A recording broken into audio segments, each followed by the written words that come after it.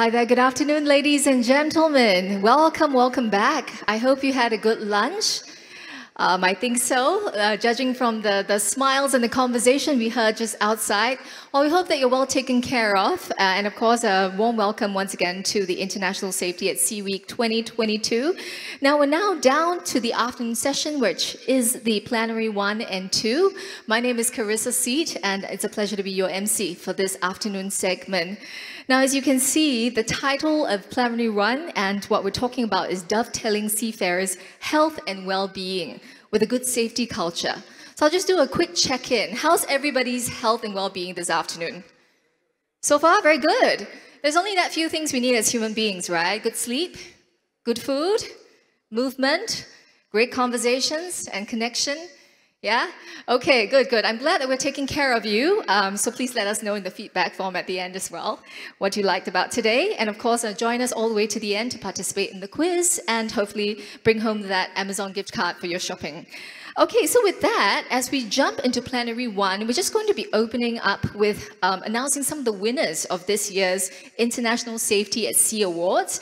Now, basically, we do want to give out and acknowledge these awards, um, and they are presented by the Maritime and Port Authority of Singapore every year to make sure that we really recognize the outstanding efforts of organizations as well as their individuals who have contributed towards ensuring safer seas. But before we do that, I'd like to ask for your kind attention onto the screens as we watch an awards introduction video. Let's watch. The MPA International Safety at Sea Awards recognize and celebrate outstanding contributions at both the corporate and individual levels. This year, a record number of nominations were received across the four categories, and entries were reviewed by the National Maritime Safety at Sea Council. Before we announce the winners, let us hear from Ms. Quah Ley Hoon, Chief Executive of the Maritime and Port Authority of Singapore, and Mr. Ishak Ismail, Chairman of the National Maritime Safety at Sea Council. Dear friends and partners of Maritime Singapore, for this year's International Safety at Sea Awards, we have two firsts.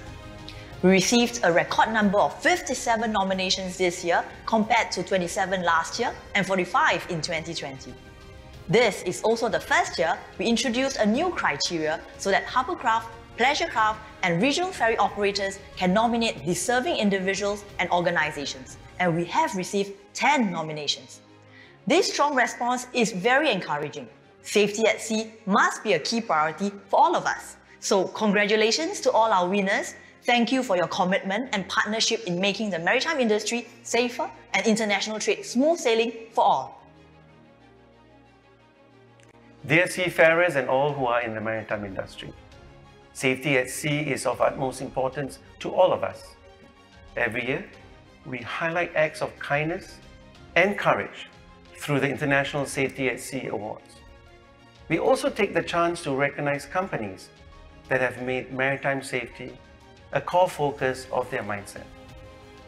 I am inspired by the stories of selfless rescue and examples of exemplary efforts in promoting a safety at sea culture amongst this year's winners. This year's winner in the individual category stands out as someone who has earned the respect of his peers by the way he has led by example and gone beyond the call of duty for his decades of work in the pleasure craft community. On behalf of the National Maritime Safety at Sea Council, we want to thank all seafarers for keeping our seas safe and my heartiest congratulations to all the winners. All right, and we will be uh, meeting the winners in just a while. For this, I'd like to invite on stage our Chief Executive of Maritime and Port Authority of Singapore, Ms. Quah Ley Hoon, to give out these certificates. Please welcome her, Ms. Quah.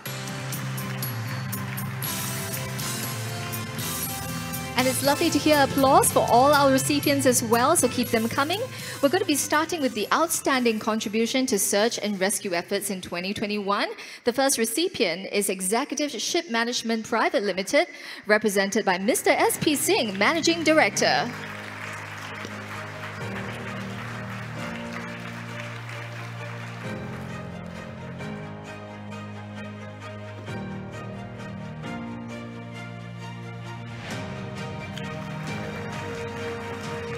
Next, we'd like to say congratulations to MTM Ship Management Private Limited, represented by Captain Nila Mohan Padi, Deputy General Manager for HSSQE. Congratulations.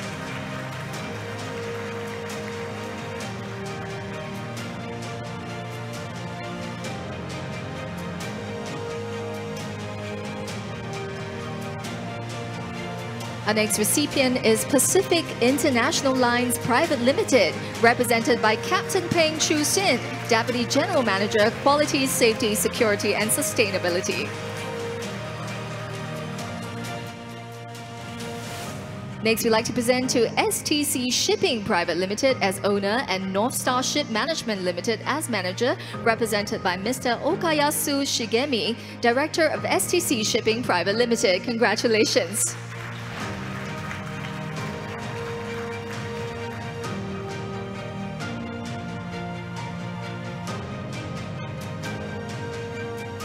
Our next award goes to Synergy Marine Group, represented by Captain Yong Ho Kim, Master of HLS Ember. Congratulations.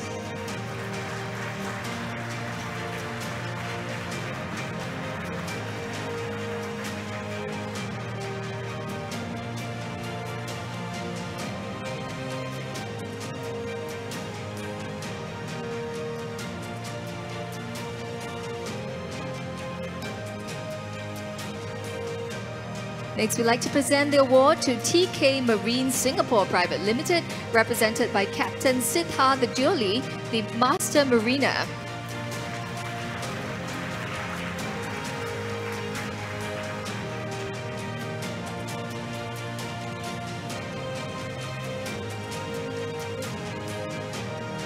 Our next award goes to Tidewater Inc., represented by Mr. James Fortnum, Managing Director, Asia Pacific.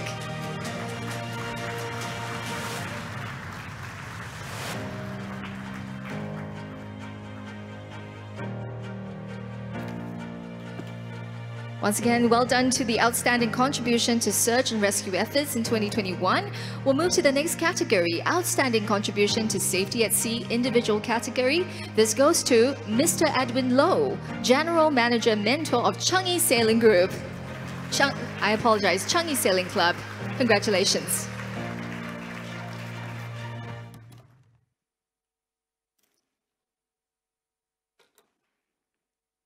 Thank you.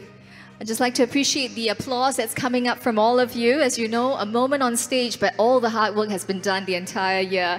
Now we're going to be moving to the next category, the Outstanding Contribution to Safety at Sea Corporate category. The first recipient is Evergreen Marine Corporation Taiwan Limited, represented by Ms. Molly Mock, Chairman of the Evergreen Marine Singapore Private Limited. Congratulations.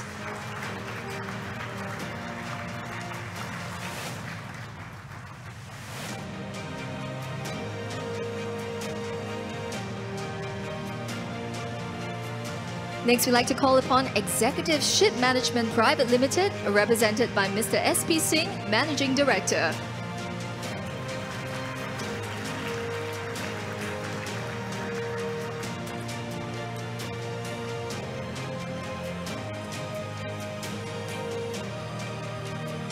The next award goes to Pacific Carriers Limited, represented by Mr. Ho Wing Yu, Managing Director and Chief Executive Officer.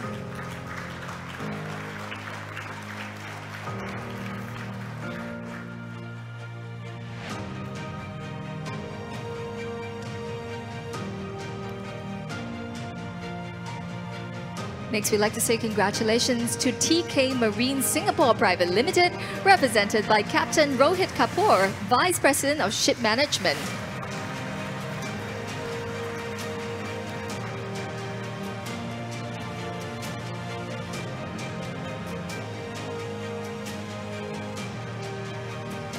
And our final recipient for this category to Thome Group, represented by Captain Mayush Resh, uh, Jayadet, the Marine and Safety Manager. Congratulations.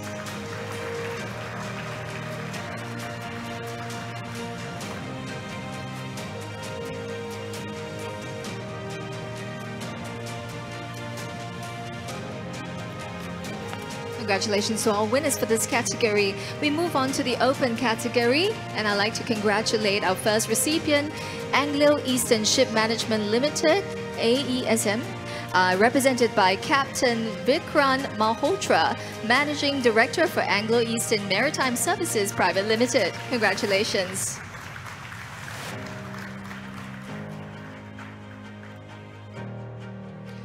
Next up, I'd like to call upon Ardmore Shipping Asia Private Limited, represented by Mr. Gerald Tan, Head of Commercial East and General Manager. Congratulations.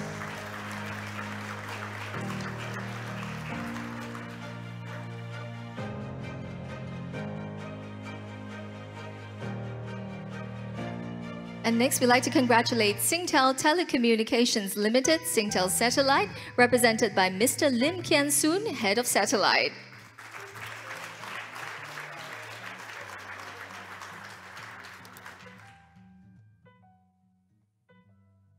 And final recipient for this open category, a round of applause for Ming Marine Transport Corporation, represented by Mr. Vincent Pua, Senior Vice President of Ming Marine Transport Singapore Private Limited.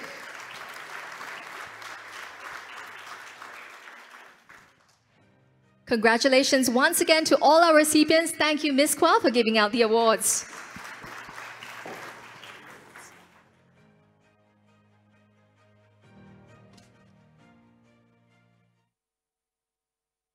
Thank you. Well, ladies and gentlemen, as we acknowledge each and every one of our um, responsibility here to contribute to a safer uh, culture out at sea. Uh, we do appreciate that you've taken time to really be here this afternoon to listen in, to engage, and hopefully we, we hope to enable you as well as you move out into your individual roles uh, back to your offices. Now that said, our first presentation is titled Communicating Towards Safety.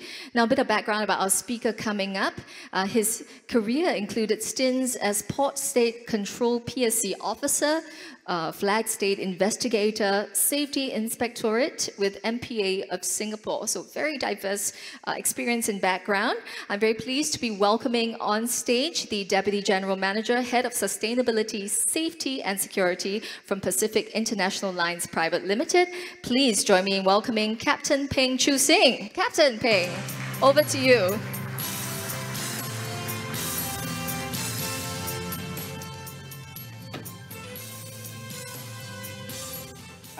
Good afternoon, ladies and gentlemen. Uh, communication is a vital part of any safety management system, besides the effectiveness of the procedures and safety of a crew and operation. There are various forms, familiarization, briefing, debriefing, seminars, webinars, team building, Body system risk management, formal safety assessment, you can name it. And not to forget the parties on board to allow the crew members to communicate. To ensure these are effective, they have to be two ways, open, levered, and continuous. Otherwise, you tend to fail.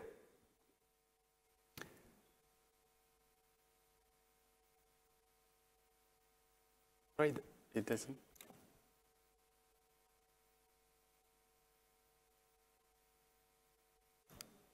Oh, sorry.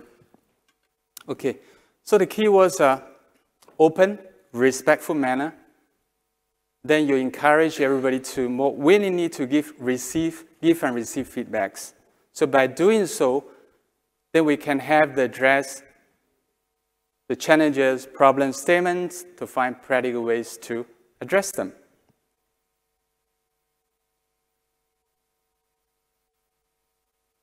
Thirty years ago, we had bigger crew size, slower pace, less intervention from the shore office. So we use post service. We make phone calls when the ship arrives at the port.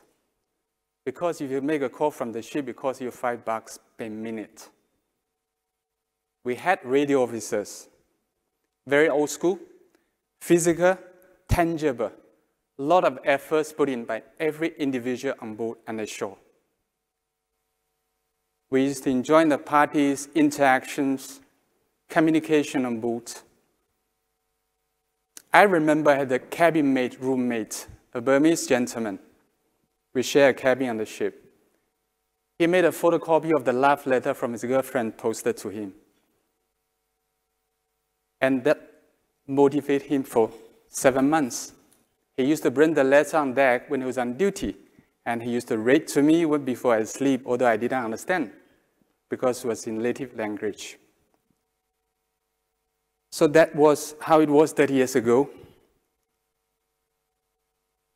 And it's always we, less I. A lot of teamwork. By the way, these photos are from Facebook. Some of the guys I know, some I don't. We had parties for sign on, sign off, cross international date night, equator, Saturday, Sunday, a lot of bondings. There are sports games, football, basketball, table tennis competitions. We did crazy stuff. Stop the ship at sea anchorage, jump into the water for a swim. Right? We had barbecues. And uh, we went ashore by lifeboat. And we had Kerdai orientation. For some of you have experienced that crazy stuff, right? I can't show the photos. Very different today. Smaller crew size. We had a 10,000 TEU shipment by 16, 13 people. You can imagine, do they really have time to interact with each other? Probably not.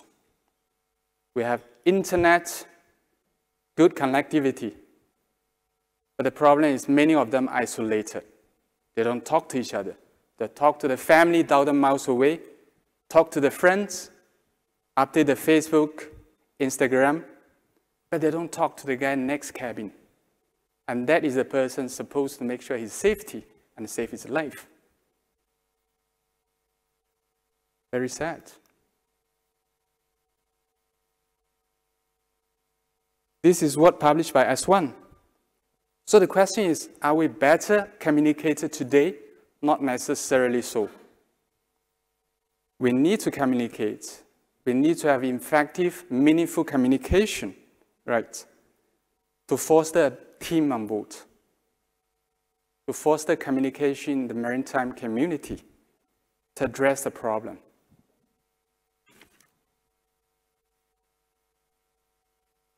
We should do everything we can to avoid falling into the trap, to be slave by technology. We should use technology to empower our officers, our masters, our engineers, and crew on board, but not to belittle them. Today, a lot of decisions are made ashore. And you have somebody have his hand on the throttle and tell the captain what is the RPM supposed to be run. For a good reason, yes. It's part of sustainability, it's part of environmental uh, initiative, but we should not take the authority away from the master, and that should be clearly communicated. And we should use the technologies to better support, better communicate with our team on board, but not to take over the responsibility, not to make a decision for them. We are sitting in the aircon, but they are facing the storm.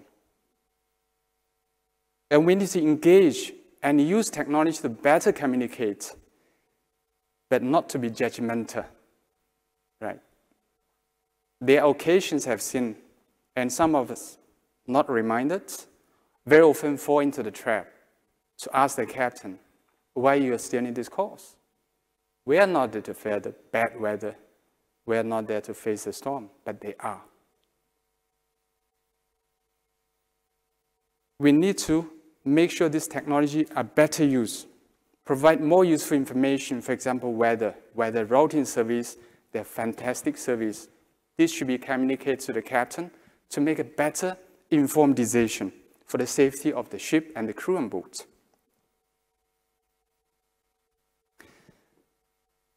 Use the technology to connect, communicate, engage every single person on board, include the top management ashore. To understand the leads to over what is needed, but what is not what is look pretty. Sometimes a survey will, will be helpful. We ask our guys on board what actually you need. Instead, we do something look good on us, but not necessarily helpful to them.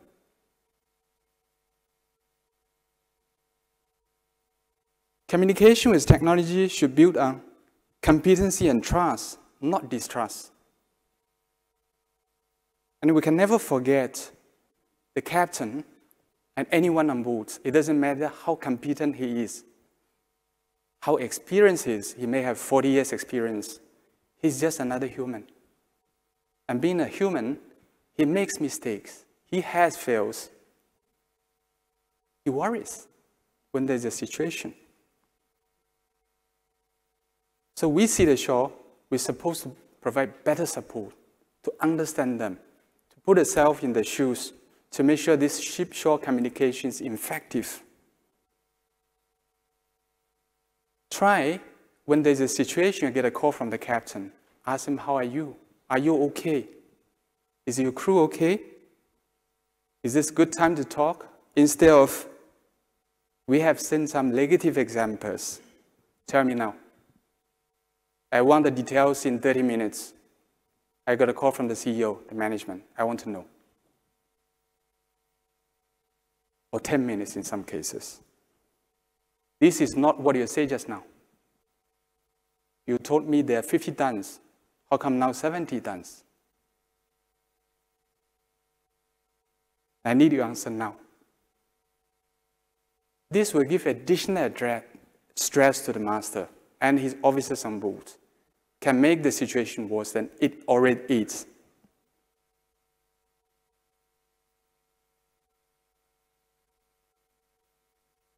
My mentor once told me, and told me many times after that, happy wife, happy life. And this is especially true for seafarers.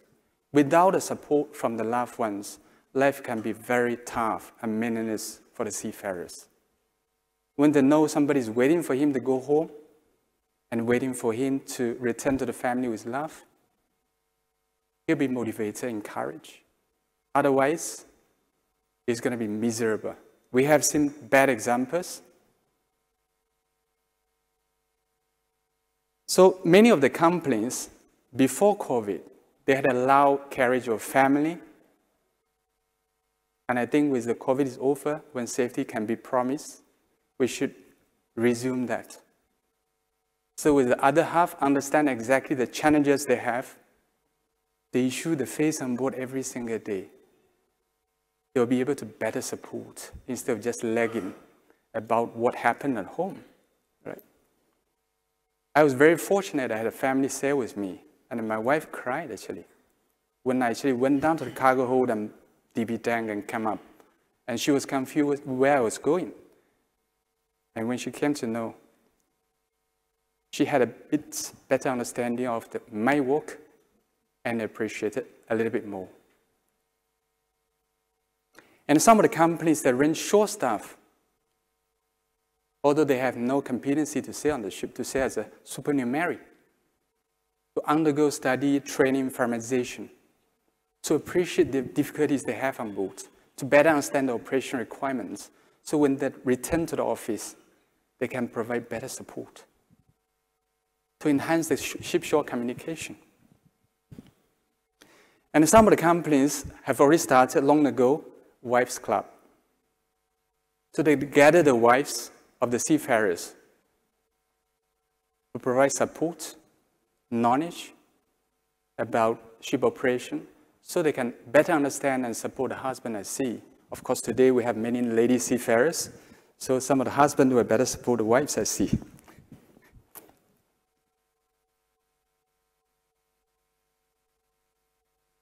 Food for thought.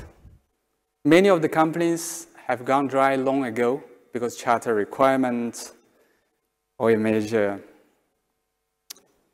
Uh, I think there's no right or wrong for good reason. But I think we should treat our seafarers as professional adults like we are. They should have the right to choose. A few years ago, I was asked by my CEO whether we should go dry. My answer to him was no. I asked myself, what is left there for the seafarers on boats? Not much. We have a barbecue party with, uh, you know, chicken wings ready. Are you going to sit down with Coca-Cola? I don't know. A little bit beer may be, you know, very helpful. We did a survey. More than half of the guys decided we should have beer on board. So we had until today. A good reason.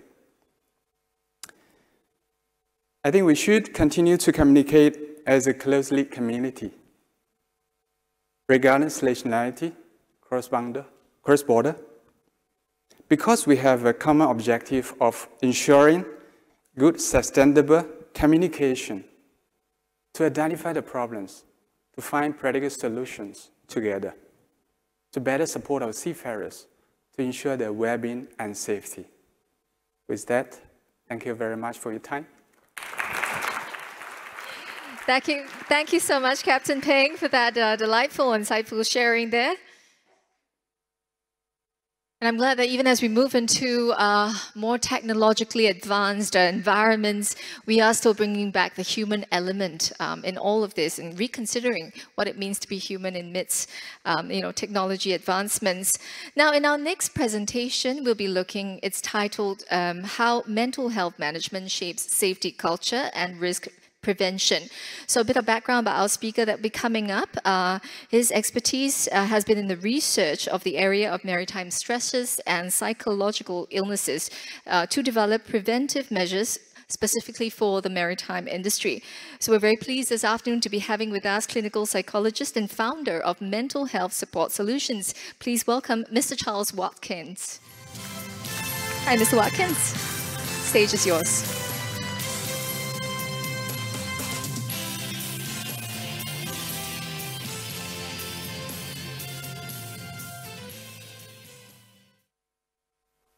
Greetings, everyone. It's great to be here. Uh, I might be the odd one out here, so let me introduce myself. I'm Charles Watkins. I'm uh, CEO and founder of MHSS.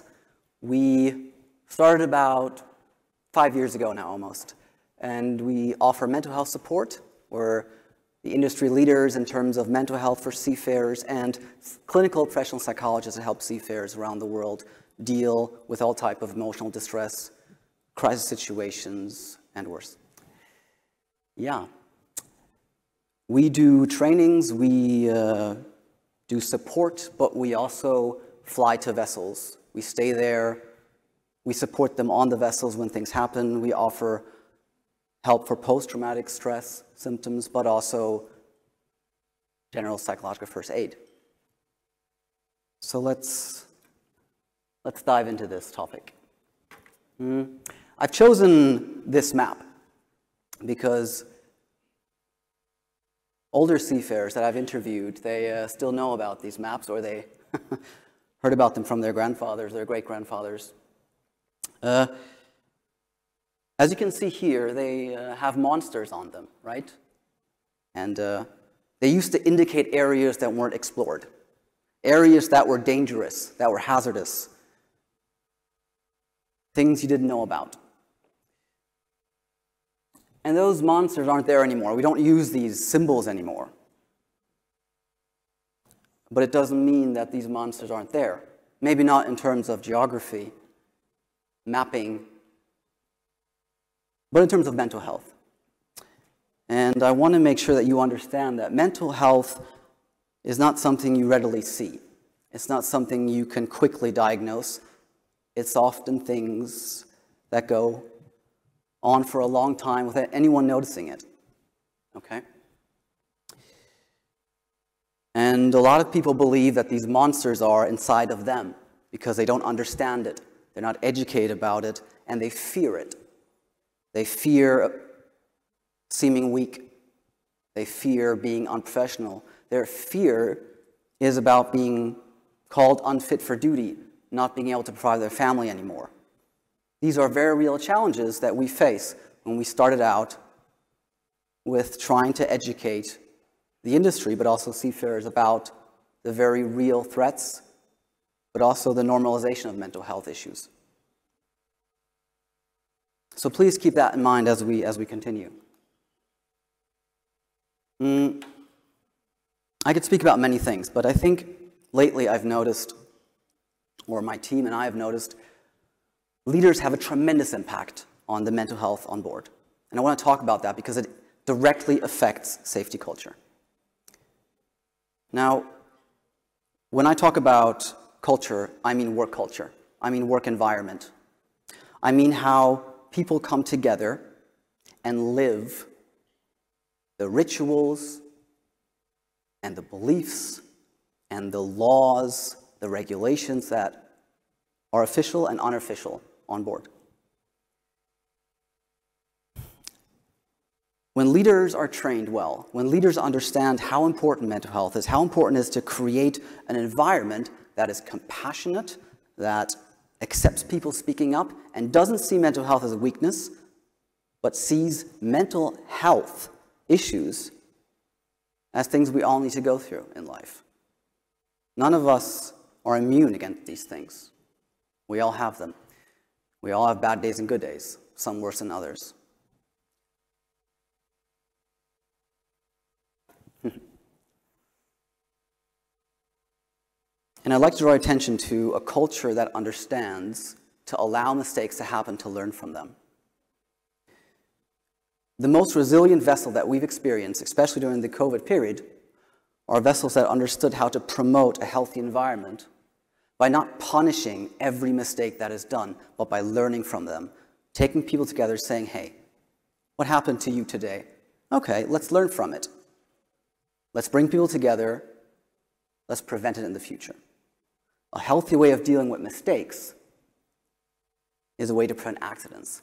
When people are afraid to speak up, that's when things get worse. If people are afraid to say, hey, I don't think that's safe, or have you, have you seen that? Maybe we should move that before we start working. When people feel free enough, safe enough to say that, we can prevent accidents. And it has all to do with work culture and how the leader affects this work culture, and without the mental health on board. Several seafarers have told me the hardest contracts, and this was interesting, I, I, I had no idea about this. I, was one, I thought hard, the hardest shifts or the hardest jobs were people dealing with emergency situations or horrible things that happened on board. But they actually said the hardest contracts were those with people in, in charge or leaders that were very difficult to deal with, that were very hard, that were unfair, that were bullying. Those were the hardest shifts. And there used to be this notion of to silently suffer. I really want to stop that notion. I really want to break free from that. That is the past. Many of you probably have gone through that, and I respect that, and I understand that. But now, with a new generation, I would like to try to help them speak up and break that silence.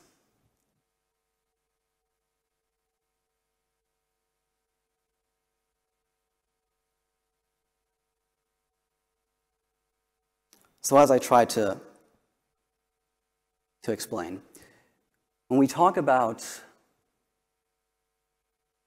a culture of excellence, a safety culture, we are trying to understand how the group dynamic, how the resilience of the whole is influenced by certain types of factors, okay? So, if concerns are heard and dealt with quickly, it's the same thing in medicine as it is in psychology and mental health. The earlier you deal with the problems, the better the prognosis, the better you can actually solve something, the more easier it is before it gets out of hand. Okay? So when conflicts are dealt with in a, you know what, let me put it this way. Never avoid conflict, move into conflict. It's good to catch it early and to solve it. That's the, I think that's my main point. Yeah. Don't avoid conflict, move towards conflict, because then it can be solved before it gets worse, before it gets big, before it might create something worse than just an accident or a concern. So, how do we do that? Well, first of all, people have to be trained. You have to know about this. People, leaders have to understand what does it mean to be a compassionate leader? Am I weak with that? Am I stronger with that? Yes, you are stronger with that. You're allowing people to understand that you lead with compassion. That doesn't mean that you're not a good and strict or a competent leader. No, it means that you understand how important it is to understand when people feel safe and secure to speak up, you will hear about things before they turn into problems. When people are fatigued, when people are bullied, people will speak up for them. And that's what we're trying to instill, that's what we're trying to change here. Um, every training I've given on every vessel that I've been, even, even on, on, the, on the oil rigs, there was never one seafarer that hasn't experienced bullying or witnessed bullying. It still is a problem, it's very real. And with this culture of, of, of excellence, culture of care, we're not going to eliminate it. That's not the goal. The goal is to have people speak up early enough to prevent things from getting worse. I've been to several vessels where people have committed suicide because of bullying. It's a very serious issue. And that's why it's very important to understand how conflict management and how uh, creating that culture of care through proper training and skills and leadership can really prevent most of the issues to pop up in the future. Mm.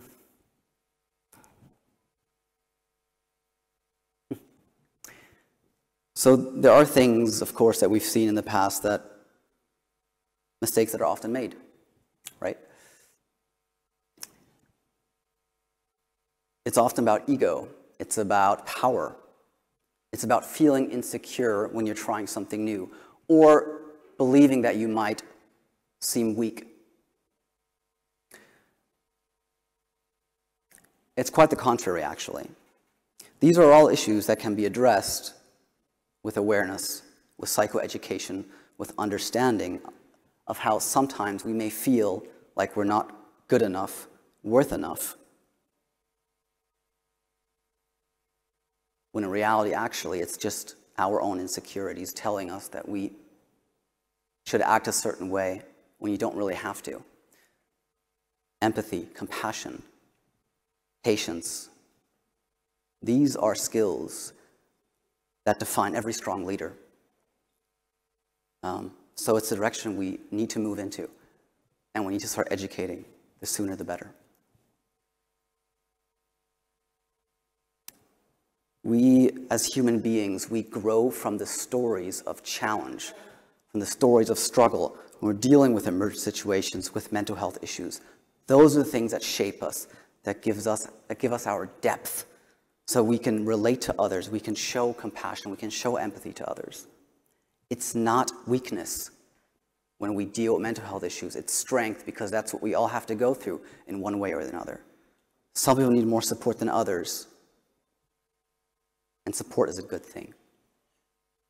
The newest studies show that just offering support, if you offer support to someone else, or if someone else offers you support, yeah, goes bidirectional, you actually care for your cardiovascular system. Hormones get released. Oxytocin gets released, which is a major, major player in, in decreasing cortisol levels and other levels that aren't very healthy for, in chronic states. So supporting each other is how we actually stay healthy and resilient on a very neurobiological level.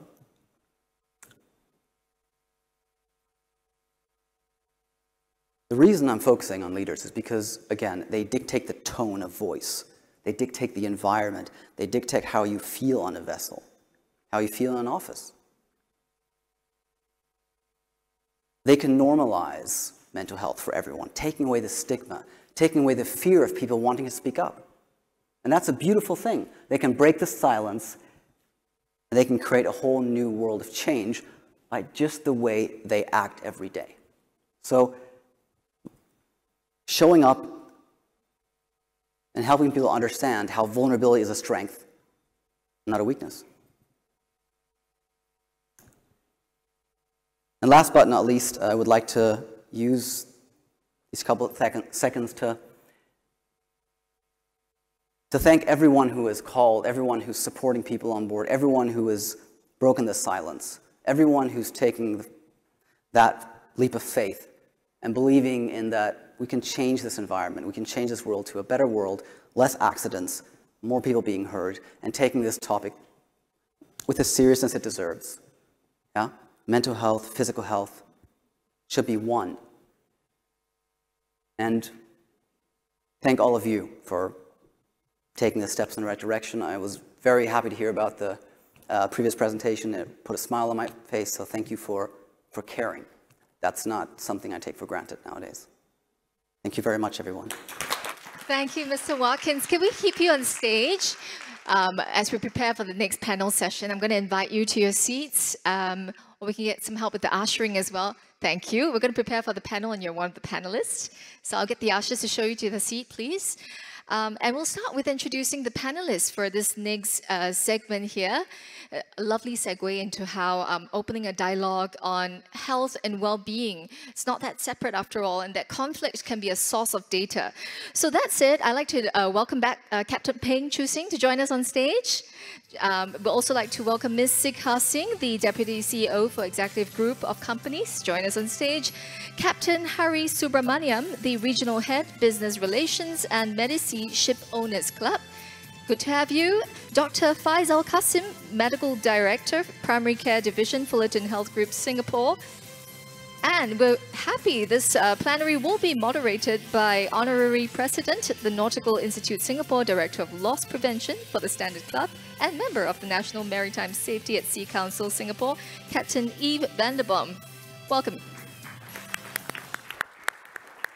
We'll just allow our panel to kind of settle in a little bit, and I'll, I'll, share with you how you can be part of this panel session. Some of you might be familiar already, but take out your phones, and what you can do is scan the QR code that you see on the screen to participate in the online questions that you can submit to our panel here, or you can also put in www.pigeonhole.at. The event passcode is safety at sea. So our moderator, uh, Captain Yves, will be looking through, Captain Yves Vandenborn will be looking through all your questions and at the selective and uh, good points. These questions will actually be answered by our panel session panelists on stage. Okay, so with that, I'm pleased to hand over the time to you, Captain Yves Vandenborn. Thank you. And it's all yours. Thank you. Thank you very much. I'm trying to juggle two iPads here and a phone. Good afternoon, everyone. I'm really happy to be back in person at these conferences. It's so much nicer to be able to see everyone and to do this in, in person instead of only seeing me from uh, the waist up. Um, as was mentioned by the MC, please do submit your questions. I would be really happy if we can get a lot of questions from the audience that we can ask this really great panel that we, that we have here this afternoon.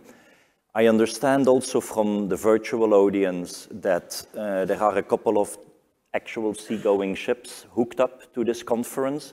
So I'm looking forward to getting questions from the crew on board of uh, these ships. Now, when we are talking about uh, seafarer well-being, I, I, found the two opening presentations really interesting. The, the topic of communication is something that we are definitely going to touch on during this panel discussion. And the mental well-being is a very important, what you mentioned on, on how leaders should behave. I thought that was really interesting. Now, we all know that seafarer well-being has been an, an important topic for a long time. We've all known that we have to put more attention on mental well-being or well-being in general. But during the pandemic, and maybe that is a bit of a silver lining to, to the whole story of, of the pandemic, at least it has been put properly in a spotlight. We all now know how important well-being is.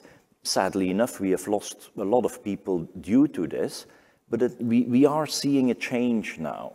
We are seeing um, operators that are putting more emphasis on the well-being.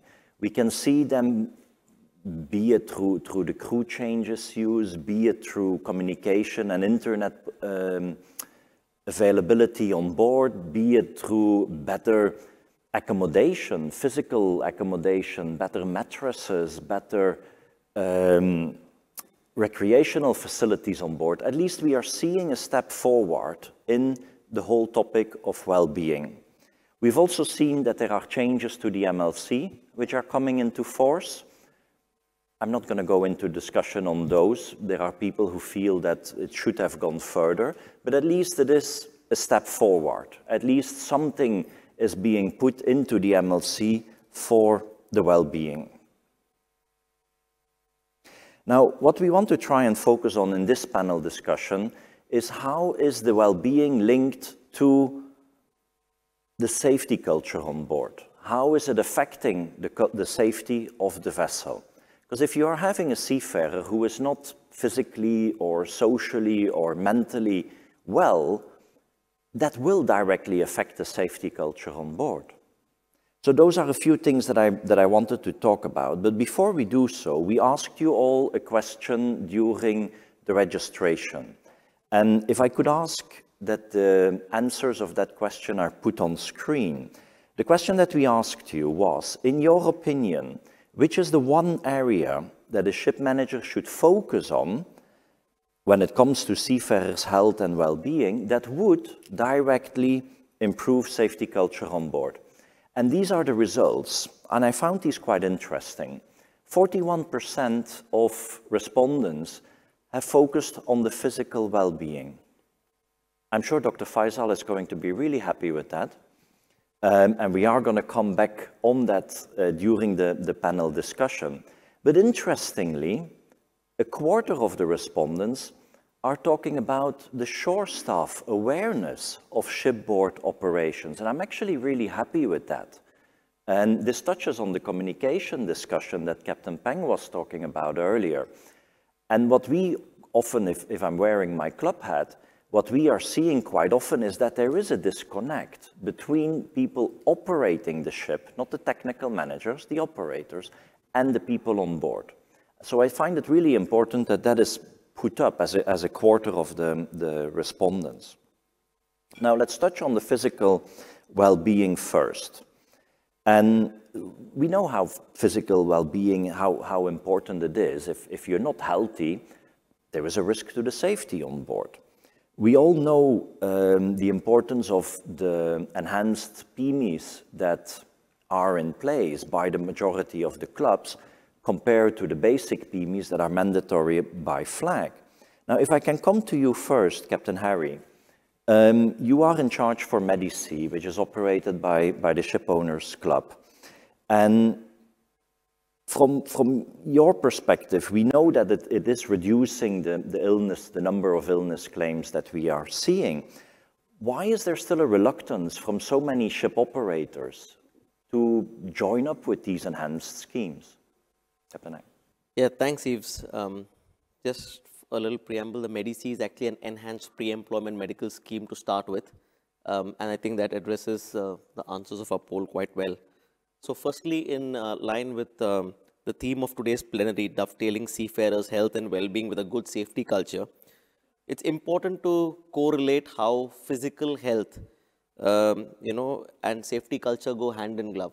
I'm going to give you a small example, like um, suppose I have um, an elevated heart problem and I've got high blood pressure or maybe I've got an abdominal pain or something and I'm going to be sitting here wondering which doctor do I see? Do have I written my will as yet? Um, you know, um, for back pain, what do I put? Hot press, cold press? And I'm going to be sitting here thinking about this and I've not even heard Yves's question.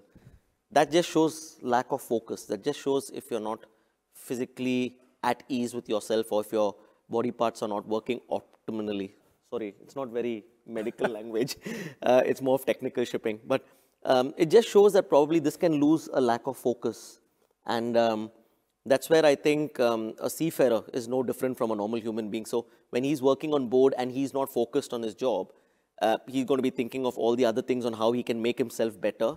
Um, he's probably going to not follow procedures, not focus, and this could lead to some accident which can endanger himself or his life and all the people working with him because it's all not a solo performance on board. And this gets classified as an injury. This doesn't get classified as an illness. So we have sufficient um, statistics, review of claim files to show, and I'm sure Yves, you'll allude to this, that quite often the deep down, the starting point is actually physical health. And this is something which then affects the person's mood, his fatigue, his rest, everything, and lack of focus. Because we know our seafarers have access to everything nowadays. You need to ask anything, you'll just go Alexa or Google and it'll give you an answer. But of course, we've got so many online training programs exactly to take that. Um, the biggest challenge to answer the question is actually changing mindsets. Now, everybody is in their comfort zone. And there's this very fine equilib equilibrium, the supply and demand of seafarers. And with COVID, it's become even more personified. Everyone's so worried if you kind of, it's already very fine, it's so expensive to have crew changes. Now, suppose I've earmarked a seafarer and I don't get him, then, you know, that's going to lead to so many cost, expenses, and a lot of other things. So that's the main thing. Uh, people do ask what's the catch when the club is actually investing money in doing this. We pay over $50 per seafarer to get this enhanced scheme, and they're wondering what's the fine print? Nothing is for free, you know. So there must be something which you're not telling me. And they try to kind of start doing a reverse engineer or a post-mortem. But then it takes some time for them to come in and then they realize, and I think the word of mouth um, spreads. One last point I'm going to take is people are worried about seafarers they've been employing for a very long time. Like I've got a seafarer who's been sailing with me for 30 years and along comes your scheme and suddenly makes him unfit. But we have sufficient data to show that the elder seafarers are the healthier bunch, the one over 50 and we have about 75, 76 year old people also who we've conducted the medical, they are the healthier bunch. The younger generation from the age of 30 to 50 are actually in the red zone. They are the ones who are coming with added stress. They are the ones who are coming with, uh, you know, anxiety issues, cholesterol problems. And I think it leads to a lot of things like um, Food Panda, Grab, you know, you want McDonald's, you just dial, you can have McDonald's thrice a day I used to beg my dad, please can I have McDonald's? And you know, if I was really a good boy, I would get it at the end of the month. But here people have it three or four times a day. It's cheaper than organic healthy food. I mean, you go to the organic section and you can just see Bitcoins like flying all over the place. But if you want to buy McDonald's, it's under three or four bucks. So plus we have these mobile devices, which um, is the bane of everything or the boon, I don't know. But um, people want to rather invest in this, their time, and rather go out for walks and play. I tell my son, you want to play something? I, what I mean is we can go out and play some badminton. He'll say, sure, you log in and I'll log in. And I said, no, no, that's not what I meant. So there are a lot of myths over here uh, which uh, ship owners are apprehensive about. And I think um, forums like this, discussions like this is where we can actually bust these myths. And then once we are over that, then it's all in the right direction. Thank Thanks. you. Thank you, Captain Hari. And if, if I can come to you, Ms. Sika, um, from executive group perspective, what, what are your thoughts on enhanced PMEs and also more widely on the, the topic of how can we improve the physical fitness of uh, the seafarers on board? Yeah, thank you very much, James, and good afternoon to you all. Um, from executive uh, group perspective, um, if you're talking about this, uh, um, it is mandatory that every uh, ship uh, seafarer that we put on board, he needs to go through a very strict uh, medical examinations. And uh, we have enhanced it to the extent that we know there's certain diseases or certain um, medical ailments are common, and we have extended those tests as well, so that every seafarer who goes on board, he has gone through it, and we have put a very physically fit person on board. That is, uh, it's well beyond the normal mandatory, whatever medical examinations norm normally is done. Onboard is very uh, uh, different uh, things, like uh, the people, uh, health-wise, they have these, we have the, on, on our panel, the doctors, they can 24 by 7, they can contact for any kind of medical ailments. And plus, we have also concentrated on mental health we have on board, on our, not on board, on, on, our, on, on our offices, we have uh, psychologists, and uh, they are available for giving any kind of uh, uh counseling on board. And we have, going forward, we have also uh, launched a program called the Goodwill Ambassadors. Those are the top four officers on board, and they are being trained by our psychologists, so that they are the, they are the front, and they can identify whoever has got any medical uh, and mental issues, and they're the first one to identify them, and they can give it over to the psychologist. So we have ensured that the people, seafarers that we put on board are always healthy, and they have any health issues, they have immediate support. Thank you. Thank you, Ms. Sika.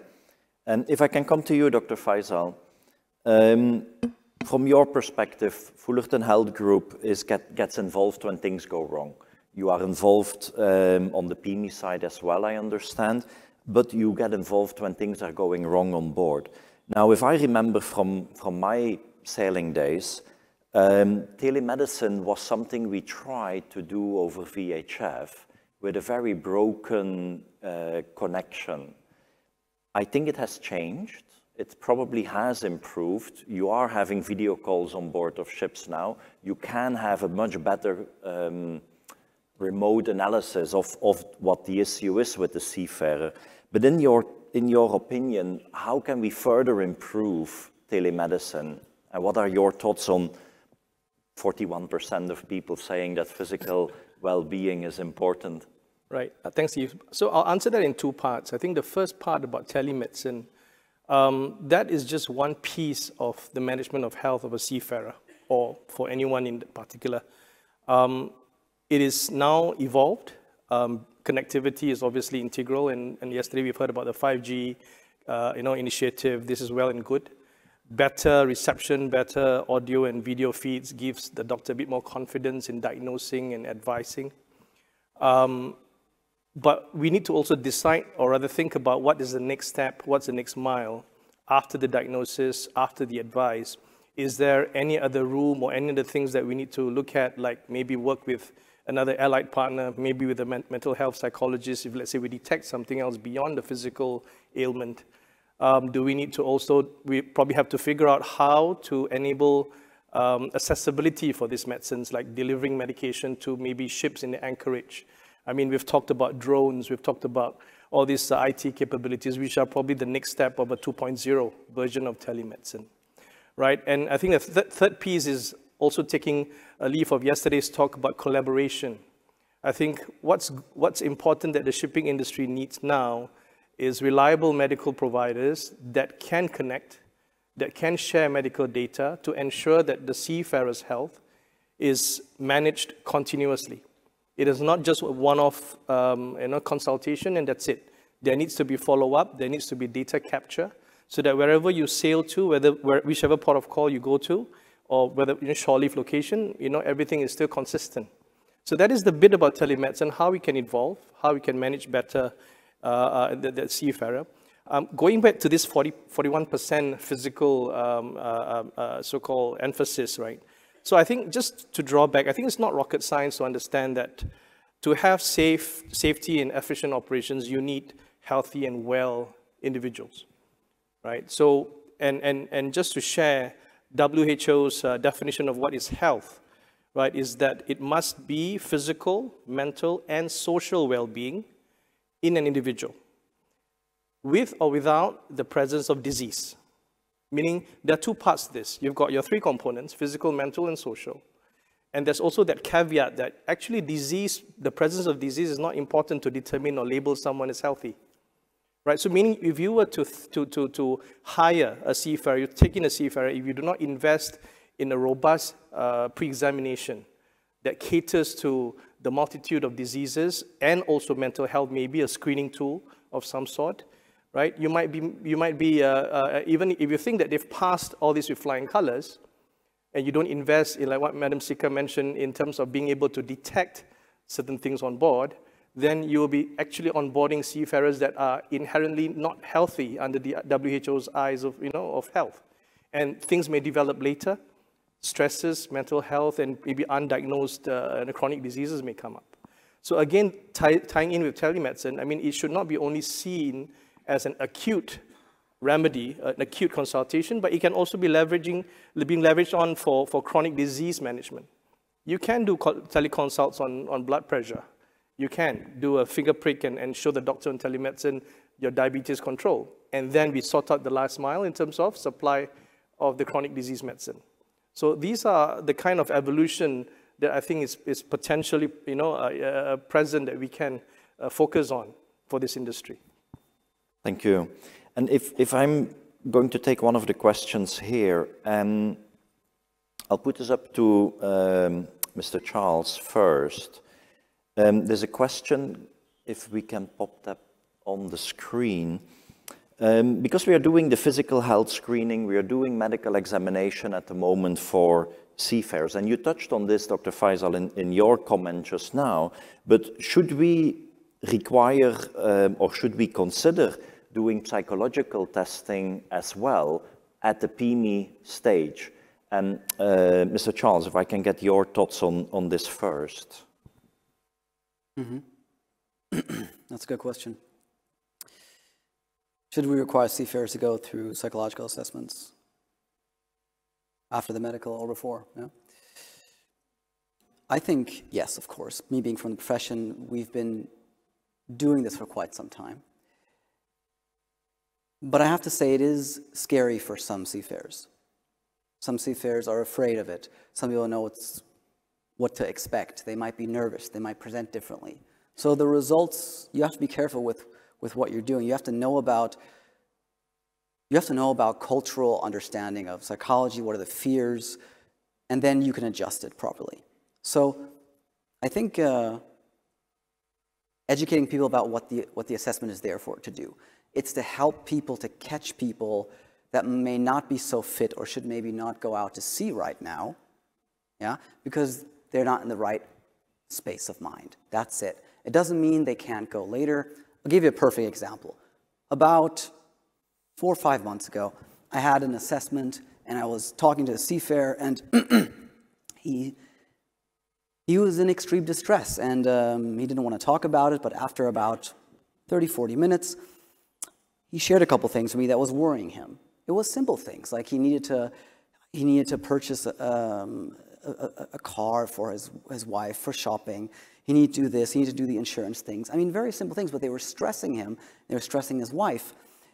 And he was not, he, he said, well, I'm not really ready to go right now, but I need to go. And I don't want to, I don't want to lose my opportunity. I said, it's not, not a problem. This test doesn't, doesn't cancel you for future voyages or, or any future contracts. So what I did was I explained to him the procedure. I said, Let's, let me put a waiting period of two months. Is that enough for you to get your things organized? I said, yes, that would be great. That's what I did. Two months later, we did the test again. He presented differently, perfectly fine, ready to go, and not worried about all the little things that were important to his wife and his family and to him. So I just want to try to take away the fear and the uneducated part about these tests. They're there to catch people that are not ready to go out at sea, that may be stressed, that may be worried, that are not in the right space of mind. They're not there to take people's right away to go to sea. I think that's the main thing I want to say. So thank you for that question. Thank you, Charles, for that. Um, if, I'm, if I'm moving on a little bit, we recently saw the release of the second quarter of the Mission to Seafarers Happiness Index. And I was quite happy when I saw the results because there was a positive increase across all of the 10 questions that uh, the Happiness Index is asking each time. But still, there was room for improvement. I think Maybe it was because of the changes to the MLC that the crew is, is feeling happy and was giving a positive survey, maybe because of improved communication on board. We don't know exactly the reasons why, but at least there was a positive increase of the happiness index, which I think is really good. Now, some of the items are still scoring quite low on the happiness index. One of them is shore leave. It is a difficult topic at the moment because there are still a lot of restrictions in place across certain countries around the world where uh, the authorities are not allowing shore leave to take place. And Ms. Quah was referring to it yesterday uh, during the, the opening session. It would really be good if worldwide seafarers are allowed again to go back ashore. Now, never mind that part, we can't control that. What we can control from a ship operation and a ship management perspective, and this is the sad part, we still see some companies that are not allowing their crew to go ashore, even in countries where it is allowed, because they are afraid of the potential risk of one of the seafarers getting COVID, bringing it back to the ship, and delaying the whole ship. But that is directly affecting the well-being of those seafarers on board. So I, I, want to put that question to uh, Captain Peng, because PIL is having a very busy liner service. Yes, um, you are very busy in, when, when your ships are in port. But what are your thoughts on, on shore leave and, and how this can be, can be dealt with with the restrictions? I think it's very clear to us, uh, shore leave is, uh, is a right of seafarers. It's not a privilege, right? And whenever this can be safely done, the fence sanity should be provided. Uh, the advantage we have is we have overseas office in almost every port we go. So we have the local office to support us when we need to. And uh, we have opened up shore leave uh, in almost everywhere except China for obvious reason. so uh, our crew members are allowed to go ashore and when they are in need, they can uh, you know, contact our local colleagues to get assistance uh, when they're in a foreign port. Uh, I think Singapore has done a very good job, MPA, allow shore leave together with uh, some of the leading ports in the world. I think we need to uh, make it very clear to the policymakers, authorities, to make sure that they need to provide this to, to our seafarers. Uh, it has been just too long, two and a half years, three years. Uh, some of them serve long contract, extended contract because logistic, logistic challenges and basically it's a floating prison for some. Uh, I mean, maybe it's not really appropriate to put in that way, but uh, it is how it is, right? So we need to understand the needs of seafarers. We need to support them, to let them go ashore, uh, you know, rewind themselves and come back and work safely. Thank you for that. I've, I've put up this question. I, am not sure if this is something that we from the panel side can can answer because it's, it's uh, this master on board of the Atlantic Altamira is asking if, if authorities are making it easier. Well, I don't know how to answer that from, from our side, but I'll put it up because we are talking about uh, shore leave. But uh, if I can come to you on, on how are you dealing with, with shore leave for your fleet? I think whenever it's allowed, I mean, there is no reason why their shore leave should be denied. But I understand that the COVID and there are situations where probably it is not convenient or it is not safe enough. So we need to consider those uh, issues and accordingly. But in principle, there is no reason that we should uh, deny the shore leave. That's that not as a policy. Okay, thank you very much for that. Now, if we, if we take it one step further, and um, I'm coming to, to Mr. Charles again, um, because from your, the helplines that, that you are operating or similar helplines that are available to, to seafarers, you will immediately see the result. If something goes wrong on board of the ship, if there is a, um, a seafarer that has um, a problem, they will be calling, well, hopefully, um, these helplines. So from, from your perspective, how do you see um, how the mental well-being, certainly as a result of COVID now, how can this affect the safety culture on, on board of, of that particular ship? And if I can put immediately a second question to you as well, um, is there anything that, that we can tell the ship owners and the ship operators? Is there a way that we would be able to recognize these symptoms in a seafarer? How are, how is a ship owner able to, to help out a seafarer? How can you recognize it before um, the person goes, goes missing, basically? Please.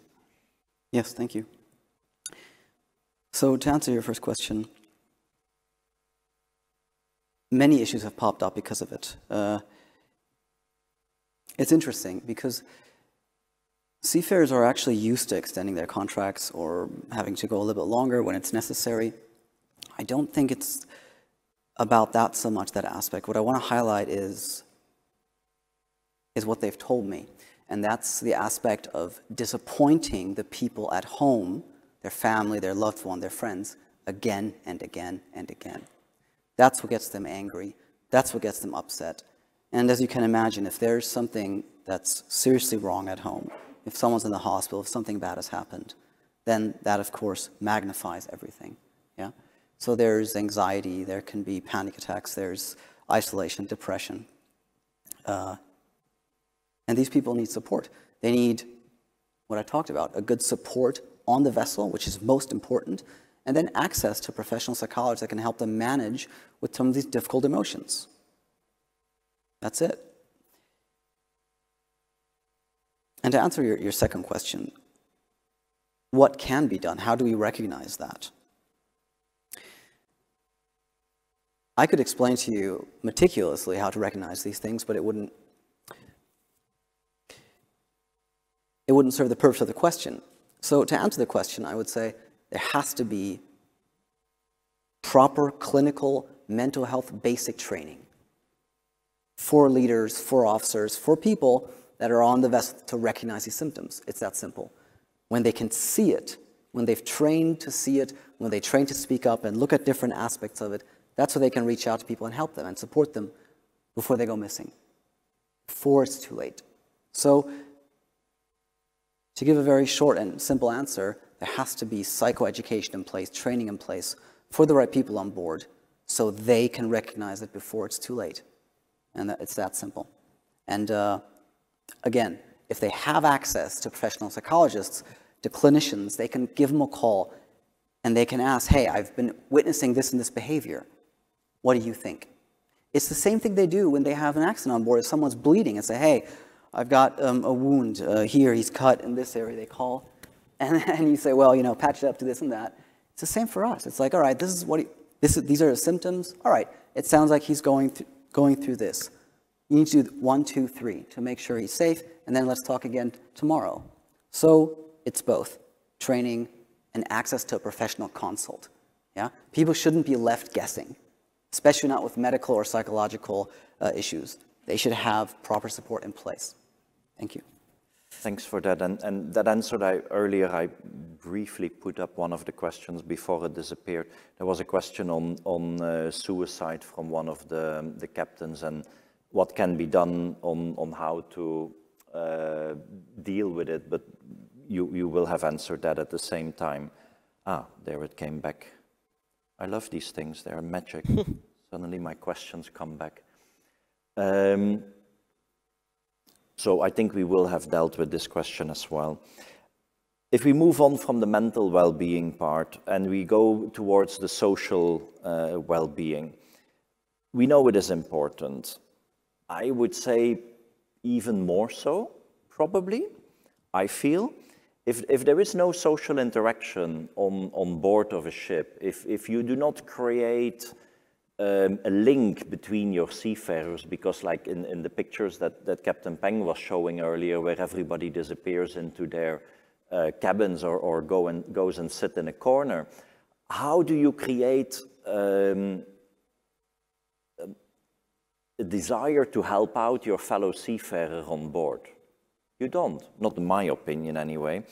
Um, so I think that that is something we, we, that we need to work on, is that social cohesion on board. Now, of course, we cannot go all the way the other side and say, no, you can't have internet anymore, you can't have your social media and your video calls, I need you to have barbecues and beer with your fellow seafarers on board. I know that, we can't, but it is about finding that balance between the two parts where you give them the internet on board, you also make sure that there are ways for them to socialize on board. And if I can come to you, uh, Ms. Sika, how, how do you deal with social interaction in, in your fleet? Yeah, I think it's uh, one of the very important uh, issue that uh, nowadays, and it's across the industry, you hear about that uh, there's a social interaction is uh, diminishing, and that's I think Captain had already showed us the, in, the, in his uh, presentation. And that's a real issue. Uh, but then what we are trying to do is that encouraging all the masters, all the top management on board to create a lot of activities and which from the shore we initiate a lot of things like a lot of competitions, a lot of uh, uh, any festival. Uh, so that's a time we, we find that and we tell them that we, they need to, uh, all these presentation, all these uh, competition entries, they need to make a group, not less than five in number. So they we and, and ensure that whenever the all presentation, all the entries come, they make their own group. It doesn't matter which, which uh, department they belong. They can be from uh, uh, captain to uh, with, a, with a cadet or whatever it is. So that it's a kind of, we are encouraging from the shore side that any kind of activities, they should continuously do it on board along with their own work. So that's, uh, we find that uh, when we encourage them to do it, and also at the same time, we give the awards along with that. And that's a kind of creates a lot of buzz in the, in the ships, and we find a lot of uh, entries coming to us. And uh, we also put them in the pictures, everything in our newsletters, which go to the ship every month. So this is a kind of, uh, we're trying to encourage them that they, there should be some social activity at any given point, and then they are involved with, and there is a uh, kind of more rapport within themselves. Yeah, that's what we are trying to do. I think that's really interesting because by creating that that challenge or competition on right. board, you yes. you bring out um, the fun part of, yes. of, being social, and, and it motivates people to absolutely, to, absolutely. In, to interact. And then the amount of enthusiasm it creates, uh, the lot of uh, entries become, and it's overwhelming. So it's, it indicates that they love these kind of uh, uh competitions and to participate in. Yeah, indeed. And awards are given, and then uh, we tell them to give the award to the person concerned, whoever got the award, and take the picture and we distribute all around. Yeah, indeed. Now I am going to come to this, um, I don't know, bombshell question. um, it's always quite an interesting debate when we talk about dry ships. We all know the reasons why. There's been quite a lot of bad apples uh, previously. We all know that it is on a charterer's requirement that a lot of the ships are, are dry. And uh, Captain Peng talked about it in, in uh, his presentation earlier. How can you have chicken wings without having a proper beer? Uh, which is really an interesting, an interesting point. Um, from a club perspective, we, in a way, we, we, we sometimes see the flip side of dry ships where the seafarer goes ashore in port and then gets smashed and smashes up things on his way back to the ship and equally causes a lot of problems. So is that the solution? Should we go um, that way so that you, we all keep a dry ship and let them smash everything up on the shore side? That doesn't help either. So how can we find this, this balance between um, being able to, to have a beer. How can we convince, uh, or a wine, I prefer a glass of wine, but how can we convince the charterers that the days of those bad apples are, touch wood, behind us now? And if I come back to you, Ms. Sika, from, from your perspective, um, what, what are your thoughts on, on providing soft, soft, I'm not talking hard liquors here, let's, let's not go the whiskey route. Um, I've, I have a lot of stories to tell about that. But what are your thoughts about soft uh, drink, but soft alcohol? I don't know what are the soft drinks. Be beer, beer and uh, wine, beer, basically. Okay. Um, well, uh, we are a 25-year-old company, and we have been always following no alcohol, zero alcohol on board. And when you're talking about incidents, I do not know those guys whether they're from the ship where alcohol allowed or not allowed. Because that group of people who can create nuisance after drinking could be from anywhere.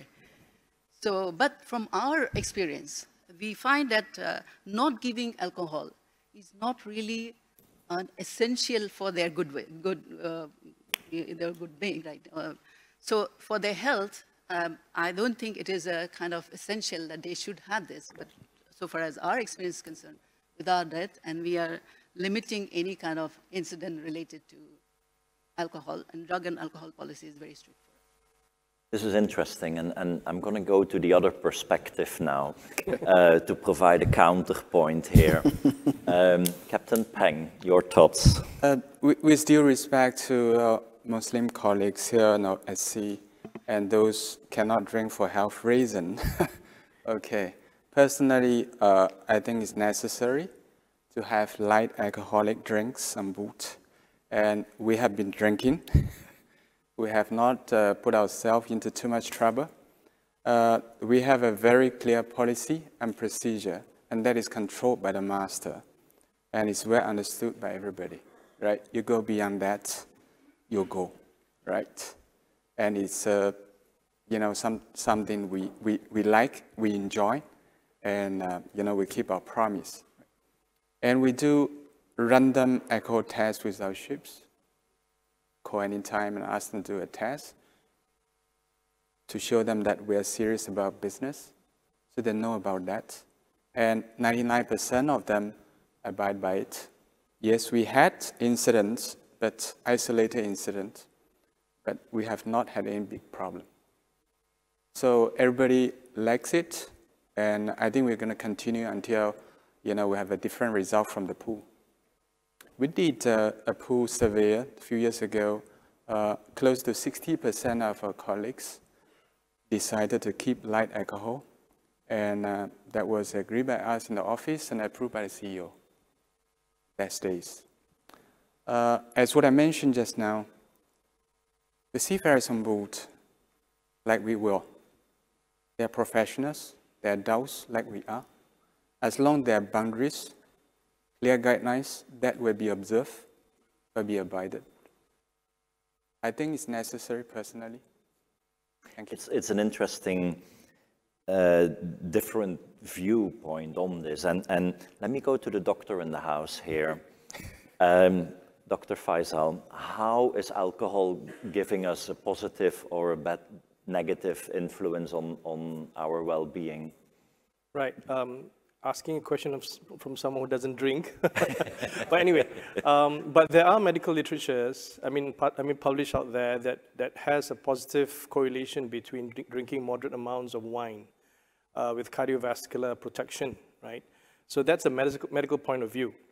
Socially, I think, um, again, maybe a, a PME uh, question could be inserted to assess someone's alcohol dependence, to assess the risk should there be uh, exposed to, you know, the, the various policy of uh, dry ship versus non-one, I mean, alcohol-based ones. Um, so that's one, one point. Um, but um, I'm just, I just want to share that sometimes these are very important things that, that really prevent uh, or rather help them with their mental well-being because when I, I was involved in a 10-month-long uh, COVID project in Bangladesh where we had to quarantine uh, migrant workers coming into Singapore for anything from 14 to 21 uh, days, and they were living in solitary rooms, right? And we had to, I had to make that judgment call to allow them to smoke. And that is against the doctor's uh, ethics, right?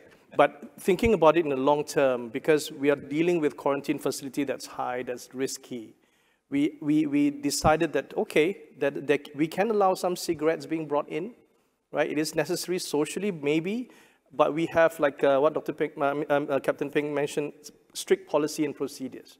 You've got limited number of sticks to be able to be brought in uh, limited duration of using it, and we do a lot of, uh, you know, we were serious about it. So we go our rounds and have a look. So similarly, if there are, you know, certain kind of co command control of, of governance with regards to this, I think it's safe. And it just helps both in the, uh, in, in the so-called medical point of view and also socially. Yeah, but that would be the, the wine though. The beers will increase the sugars.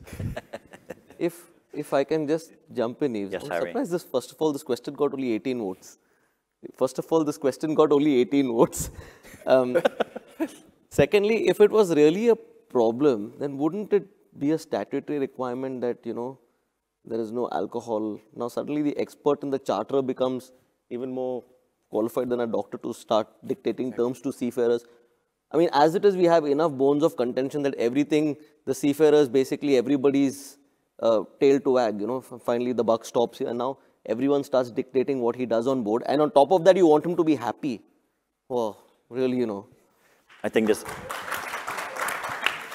there's going to be a lot of I the can, masters. I may of, add it here. Sorry. This policy which we have taken, uh, uh, following this for last two, more than two decades, it's not under uh, any advice of anybody else. It is our own decision because we think there is a benefit out of it than the negative. So I think it's working for us, and I cannot talk about others, but definitely for executive, it's working very well. Um, I don't think there is a right or a wrong in this. I think every company makes the decision. They do the risk assessment for the, their own particular type of, of trade and that ships that they are in. I don't think there is a right or a wrong as such. Um, but I thought it was an interesting discussion that we, that we had on, on this topic. And yeah, why only 18 votes? Huh? Come on, guys. Can we also vote? okay. Um, I, had, I saw one question here, um, which has 27 votes. Problem is that I can't mm. read it um, all the way. Ah, okay. How would the panel suggest ways to improve mental health and well-being of seafarers? I think we briefly touched on, on, on this earlier. How can we recognize the issue of, of um, mental health and well-being? So I think we would have answered that. Is there anybody that would want to comment on, on this I, question? I have one point on this now. Um, ISWAN, especially since they're quite, they do a lot of work in this. I saw it recently on social media. ISWAN actually have a course for uh, first aiders, mental first aiders, and they are calling on people to actually come to uh, undergo training to recognize, because that was a topic. Uh, similarly, they also, ISWAN also has a Seafarer wellness app. I know people roll eyes, one more app kind of thing, but um, there is a Seafarers app which actually you all can download. And uh, these are actually put together by experts who uh, say what you can do. I mean, it's not just about listening to good music and the sound of waves and the trees and the branches, but there's a lot of things like you can do as meditation, yoga, food and health tips. It, it all contributes and these come from them. So there are free apps like the ISWAN one. Sorry, I'm not marketing for them, but still uh, I am. but yeah. these are ways actually they can use to, um, you know, uh, get more information. Ms. Sika. Yeah, uh, I forgot to mention about this, but the yoga is, I think, is a very good, uh, uh, uh which we actually encourage, and they've been trained, all our cadets and all officers are trained on this so that they can practice it on board as well. I think it is really the importance is, is making the seafarers aware of what the various options are.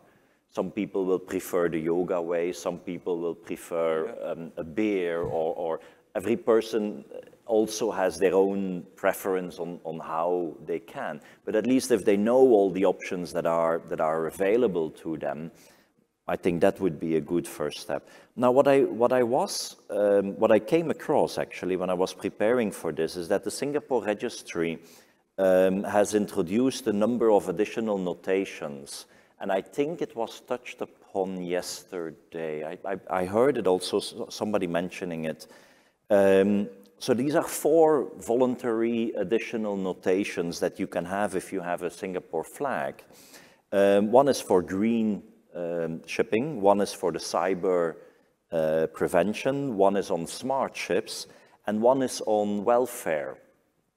Um, I don't know the exact criteria of it, but what I do know is that so far only two ships have been awarded the welfare category, the welfare notation under this under this new system.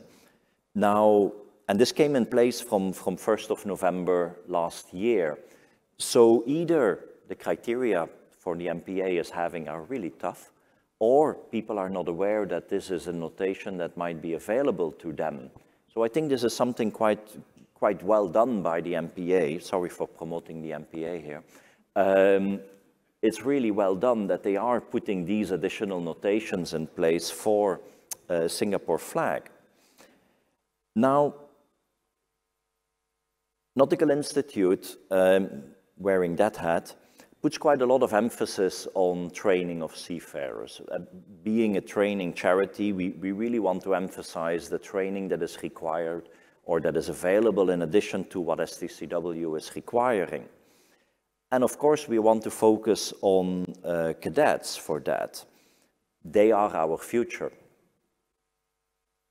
And on, on, the training part, we don't want to focus purely on the technical knowledge. We need to be able to focus, and, and our Captain Andre, um, president of the NI, mentioned this yesterday during the opening session as well.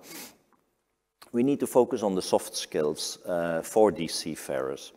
And quite coincidentally, um, Captain Andre as well wrote a publication about mentoring of seafarers on board of ships. And one of the main points that came out of, of that publication is that it does not take more than 10 minutes to do a simple mentoring on board of a ship, but share that knowledge that as a, as a senior person you have with the new generation that is, that is coming on. And Charles touched on this earlier when he was talking about how to be, to be a leader. Mm. It, it, fits quite well into, into that. But if I hand it back over before, before I keep talking, um, Hari, what are your thoughts on mentoring and how can mentoring improve the, the safety culture on board? I think absolutely. I mean, mentoring is exactly what the doctor prescribed. Uh, not you, Faisal, sorry, as we speak. So um, there's so much that the elder seafarers have gone through, um, you know, in terms of rudimentary uh, navigation, seamanship, etc. Without the technology, etc., they used to kind of make it work with bare hands kind of thing. Not exactly smoke signals, but um, and now the new generations have arrived on the cusp of technology, and a lot of them don't have to do the basics because it's all on a platter. So it's important that these stories are shared so that um, they, there's so much to learn from them when the chips are down. Then uh, how people dealt with certain situations may be an extremely good learning curve. Um, we do a lot of mentoring. I mean, as a Nautical Institute, Yves, myself, um, we undertake a lot of mentoring sessions and it's, it's all about giving, you know, and we go to the, uh, to the polytechnics, the maritime academies, and we talk to the cadets, we talk to post-sea uh, officers. There's so much to be done. And I think Captain uh, Andre Le Goubin's book is fantastic. If you haven't, I would strongly advise that you all get hold of a copy and uh, go through it. But it's, I mean, he, even yesterday in his few moments of speaking, he was like, fantastic, a very simple solution. Just put two cadets on board every ship and then you've trained the people, you've solved the problem of cadets waiting and, you know, uh, you're solving a lot of things. It could be as simple as that. But yeah, mentoring is as simple as having uh, just striking an interesting conversation, something you can actually gain from an intellectual conversation. Um, and um, it's not a top-down approach. Many people like to think of mentoring as that kind of uh, master-slave treatment where the person, I'm the plethora of knowledge and I'm going to like kind of, you know, uh, fine-tune your thinking and then when I say raise your hand, raise your hand, it's not going to be that. It's just a conversation. We've undergone mentoring sessions. We give mentoring sessions. We give mentoring sessions. At the same time we are also undergoing mentoring sessions on other aspects. So it's always that circle of life that is never complete. So um, i think it's fantastic. Um, if you all are at uh, a loss of ideas about mentoring for your seafarers and all that just get in touch with the nautical institute. We undertake a lot of that for the community. Thank you Hari. Um, earlier on captain peng was talking about the communication in his in his opening um, talk um, and it, it's a difficult topic there because you, I, I, mentioned it earlier, the more communication you allow with the family at home, the happier the seafarer might be. Um, but also how the, the risk is there that all the problems from the shore side are coming to the seafarer. So one of the things there that I'm, that I'm wondering about, if, if there is something that can be done, and, and I think you referred, and I'm, I'm going to ask you to repeat it if, if I uh, can. What, what can we do to try and have a, the family have a better understanding of the life that the seafarer has, and what, what are the good things that can be told, and what are the things that maybe should get filtered? Uh, with uh, uh, connectivity today, um, you know, the seafarers are well informed of what is happening at home and uh, in the local community from the friends. Uh, so there's no way can, we, we can bring this back. We can reverse it. But I think it's very important to let the family and friends, uh, parents, have better understanding of the life on board, the challenges they face, the problems they deal with every single day. Uh, so some of the staff I have seen, I have experienced, I have benefited in the past is Wives Club, carriage of family on board for short voyages, and allow the family to have a deep understanding of the operation on board, uh, the tough life faced by the husband or the spouse. I had been benefited from this. Uh, you know, I have seen a wives club organized by, you know, my previous employer and the current company.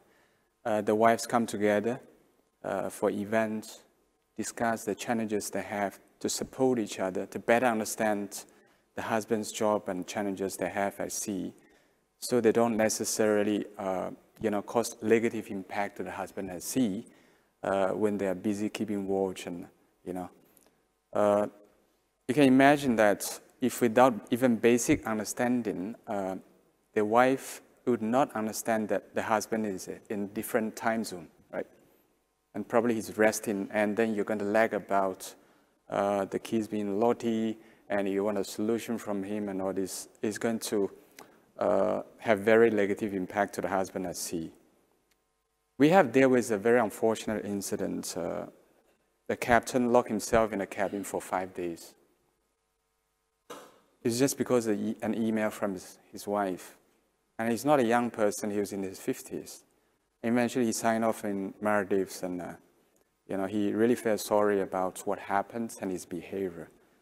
And in these five days, he finished five cases, uh, sorry, uh, one case of beer and five bottles of whiskey. So I think more should be done to make sure that the message uh, clearly communicated with the family. They have good understanding so they can support uh, the spouse at sea in a meaningful way, as well as the kids. Right? It's tough uh, to have the husband away and to support the whole family just by the wife itself. So, uh, you know, Wives Club is one of the solutions to have the wives from local community gather together to share the concerns, to share knowledges, uh, you know, so they can better support the husband. Thank you. If I can come to Charles, um, do you have any comments or any further thoughts on, on how we can improve the family well-being? Mm.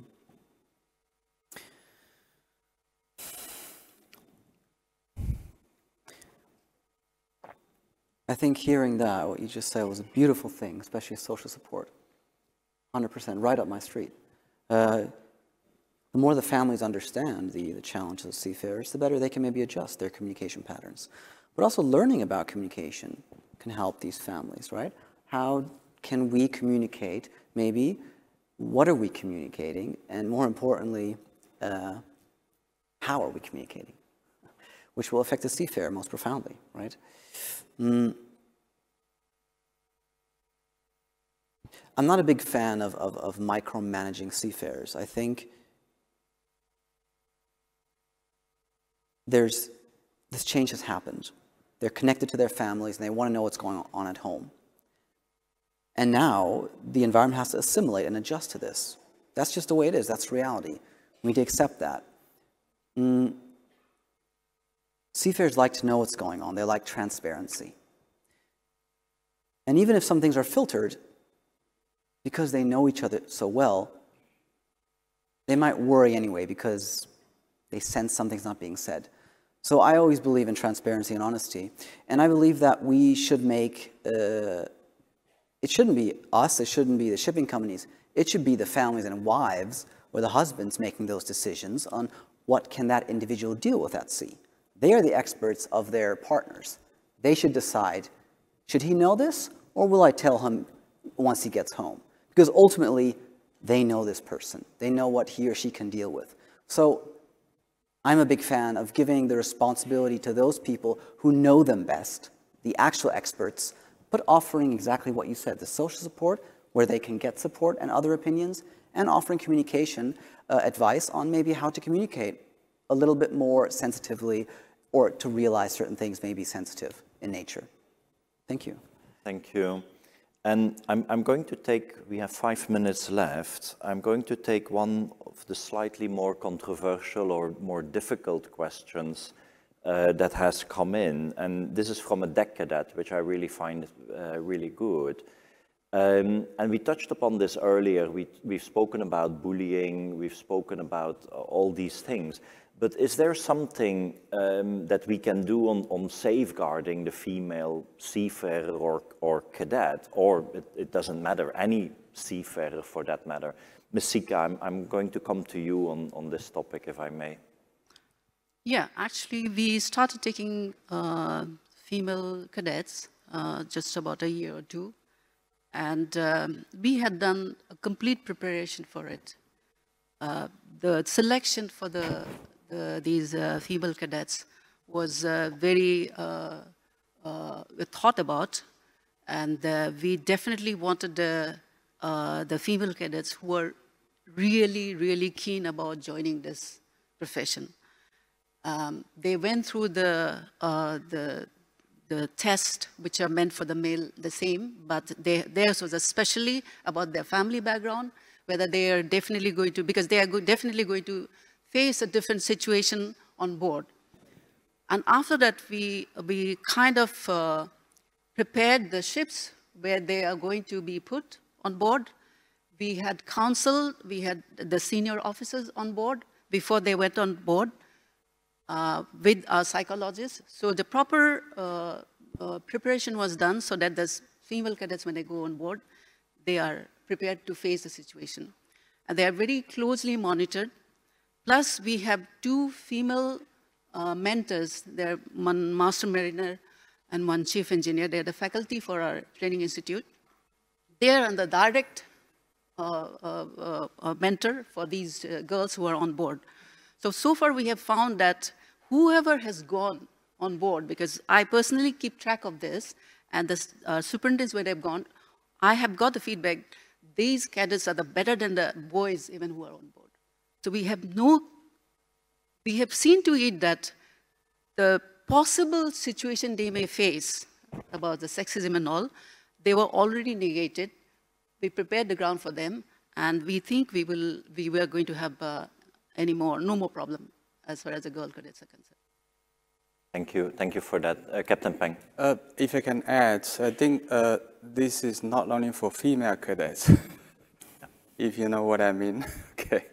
I have seen it myself. Uh, so I, I, think education is the key to make sure that, uh, you know, the company, as what you mentioned just now, have a very uh, robust procedure and policy to make sure that everybody is protected against uh, harassment. I think that is really important. It doesn't, we hear about the stories for, for female uh, seafarers, but it is, it's not limited to that. It, it, it goes way beyond, uh, beyond that. And thank you very much for, for this deck cadet for sending in this, this question. Um, I also love my timer because it has suddenly jumped up with five minutes. uh, really interesting. Um, which other question can I do? Dr. Faisal, I'm going to come to you. Um, a more, we've talked about physical, we've talked about mental, we've talked about social, family well-being. Um, how can we tie it all together if, if we look at this from, from a holistic uh, perspective? What, what are your thoughts on, on that? Well, that's a very uh, big question, but, but it's easily answered because I think this concept of uh, providing the best health uh, management that we can is not just for the seafarers, it's for any working community, it's part of occupational health, it's part of public health as well, right? So, but, but peculiar to the seafaring community, I mean, because of the inherent challenges, I think, um, um, you know, as I mentioned earlier, I think there's always scope to, to emphasize or focus on, on ensuring that you try and get the most optimum, healthy, and fit uh, seafarer wherever possible. But that does not uh, disallow those who are not fit at that point to be coming on as seafarer in the future, right? I mean, there is always room for them to be optimized. So this is a pre-employment scope that, that, that, might need to be you know, uh, enhanced, where there is capability of filtering and tiering, and also some form of um, uh, optimization for them to come back and not deny them of the chance to work. So that's important. That's part of occupational health as well. And the next step, when they are already on board on the vessel, um, the management of health, physically, mental, or social, I think um, right now there are capabilities. I'm glad to hear that uh, the different shipping agencies are, are, putting a lot of thought in, in this. Um, but like I said, I think we have scope to develop this because collaboration is not competition like what we mentioned yesterday. So we want to make sure that everybody's seafaring community is healthy. So telemedicine uh, and te uh, what we call medical continuity is, is, key. And that can only work if you have a good um, uh, I mean, working uh, partner in terms of a medical provider, telecoms provider, and even the local legislation. Because sometimes you might think that it is easy for us to deliver medicine, but because of you know uh, policies in terms of international borders and, and whatnot, may, may make legislation uh, you know a, a, barrier to, to, to enabling this. So that has to come in in terms of policy as well, right? So in a nutshell, I think, um, uh, uh and, and of course the last part, of course, the social well-being I think competition, connectivity, family support, all well and good. But I think, uh, again, maybe as part of, uh, I mean, I don't know, this, this I'm, I'm not clear, but I, I, I hope that the, uh, there's continual assessment of an already onboarded seafarer to make sure that they're still at the pink of health, both mental and physical, right? It's not just a one-off assessment at the point of onboarding, but but maybe a few, I mean, I'm sure there are a few rounds of, of checks, but I think the emphasis on health, mental health as well, being assessed at that point, I think is key. Because it's a snapshot of that person's health. It's not, it's not a, a, a chronic diagnosis, right? I mean, Charles, you may, you may correct me if I'm wrong, but it's a snapshot of what his mental state is in. And, and if maybe at the beginning he's fine, but because of the, the, the whole uh, uh, uh journey at sea for a few months, and he, you know, when you reassess him, he might show some signals that we might need to address early. So there is preventive health, right, a, a component in this.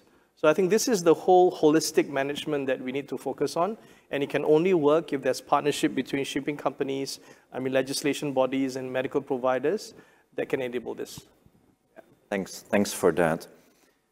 I, am going to take this uh, first question um, because it received 25 votes how can we treat seafarers more important, uh, how can we treat seafarers being frontline workers and they are facilitating the world trade? Ah, okay. How can we treat seafarers more importantly because they are frontline workers and they are facilitating the world trade? Thanks for this question, uh, Captain Rashid, but I'm not sure what we can answer on this from, from a panel perspective. I wanted to put it up because it has a lot of, of votes. Um, this is something that, that the flag states need to work on, that, that the port states need to, to work on. And I think from, from a Singapore perspective, um, that really has been done quite, quite clearly. Uh, Singapore has put seafarers as frontline workers. I do agree that it is not the same in all ports around the world. And I think a lot more can be done on this topic um, before, hopefully not too soon, the next uh, crisis comes around.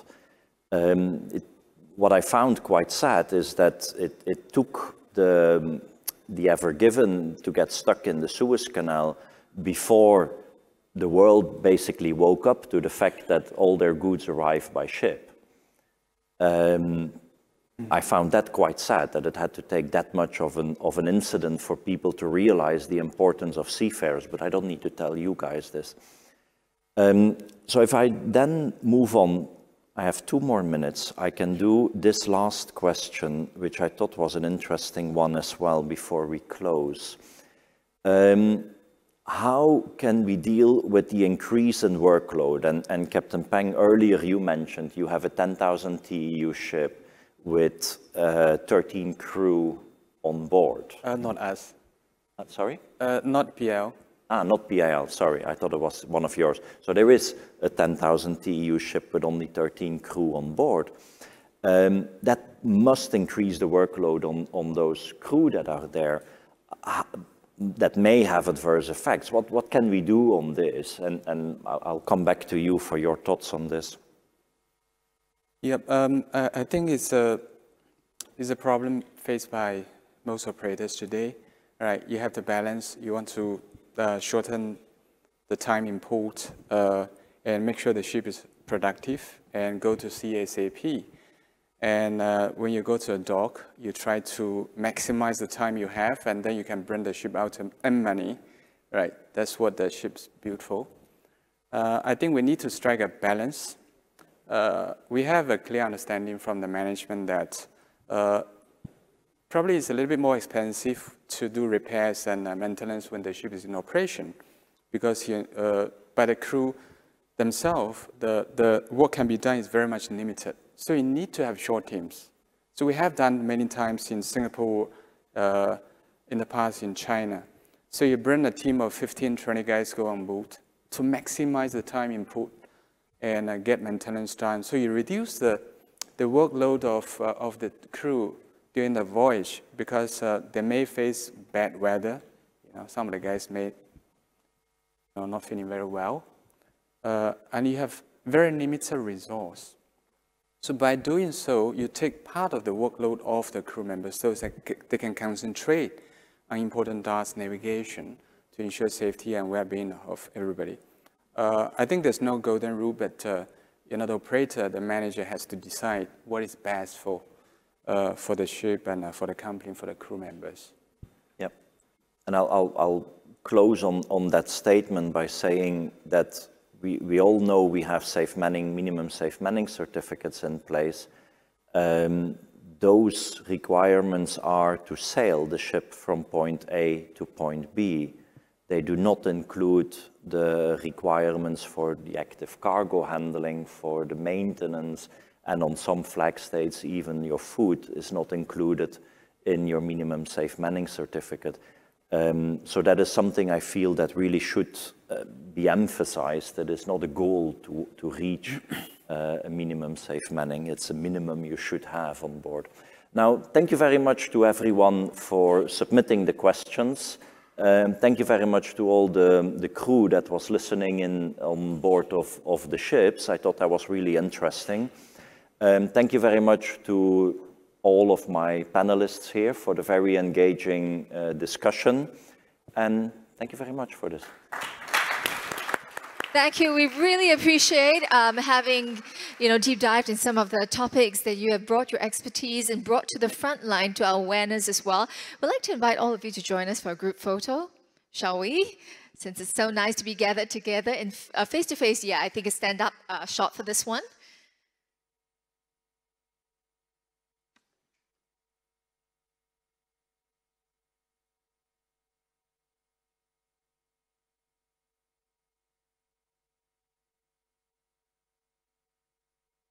It's really nice to be able to gather together. Thank you. I think it'd be great if we have a hashtag, right? You know, so we can document all these lovely photos. And thank you once again to our panelists, Dr. Kasim, Captain Subramaniam, Ms. Sika Singh, Mr. Charles Watkins, Captain Peng, as well as our moderator, Captain Yves Vandenborn, for taking us through that conversation. Um, that said, ladies and gentlemen, we also really appreciate all your participation. The questions got us thinking, and I hope the conversation doesn't stop here. As we move uh, on to the break time, uh, there are just two things that I'd like to bring to your attention. Could you please uh, join us uh, by taking a QR code uh, of the feedback form that will be coming up? That's right. While it's still fresh in your minds, we'd love to hear your feedback really quickly in the digital form. That will help us uh, bring even better events to you. And also, we'd like to encourage you to participate in the quiz. Um, so your participation could win you a Amazon gift card worth Singapore $50. So we hope that makes it a fruitful time for you to join us in this quiz. And at the same time, I'm very pleased to announce to you after this, uh, you can actually adjourn to the back of the hall. Tea time will be served. It'll be a 30 minute break for you to stretch your legs, which I think is important for learning as well. And we'll come back at 3.30 right back here for plenary two.